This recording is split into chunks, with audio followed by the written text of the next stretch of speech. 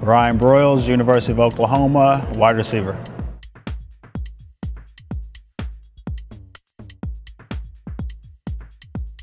Uh, one of the great things about coming here to Velocity, um, every player is individual. Uh, I come in with a, a knee injury.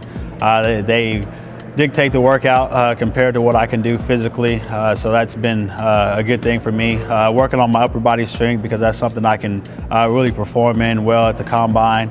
So just the way they uh, make the workouts for us uh, individually uh, to help us gain what we can.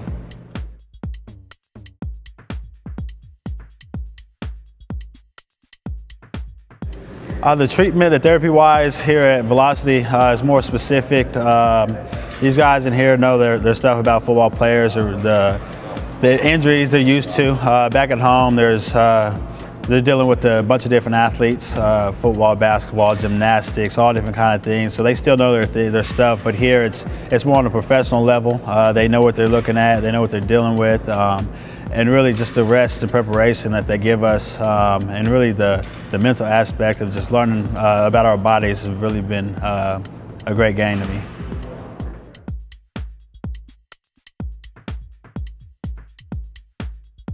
Uh, being out at Velocity, uh, we're, we're eating Sunfare. I guess it's a company that has great food for you. Uh, it's the best I've ever eaten in my life. Uh, dropping body fat.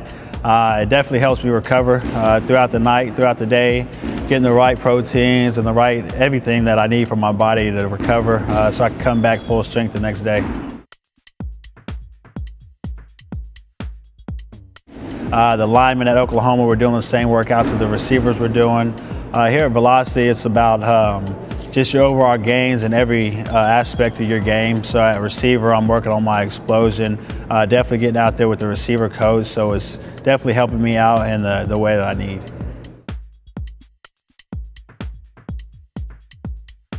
I think uh, whoever comes in uh, through these doors of Velocity, they're going to be taken well care of. Uh, these guys know their stuff. Uh, the staff's great. Uh, it's hands-on.